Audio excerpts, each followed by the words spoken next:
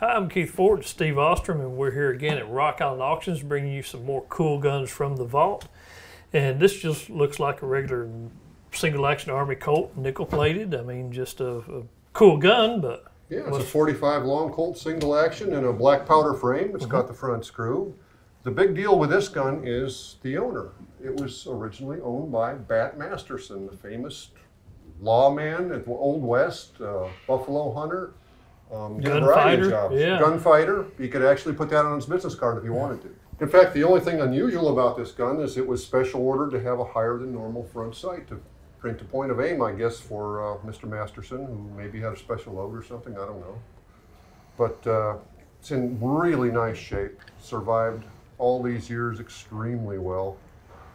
And Yeah, from 19, 1888 whenever that gun was produced. So it's and he went with the standard uh, gutta percha grips rather than Mm-hmm. uh, something fancy like ivory or something like that. So he's a very practical man, it seems. But uh, nothing extraordinary about the gun itself. yeah. The- Now, considering all the gunfights and stuff that he did, you know, supposedly he killed anywhere from what three to twenty men, Yeah, and there's just not a whole lot of wear. So I'm wondering if this is more like just a, a nice side piece that he carried, or I think this was toward the end of his Mm-hmm. life when he ordered this. So uh, yeah, it didn't get the hard wear and tear like his younger days when he was out riding a horse, uh, you know, into battle or something.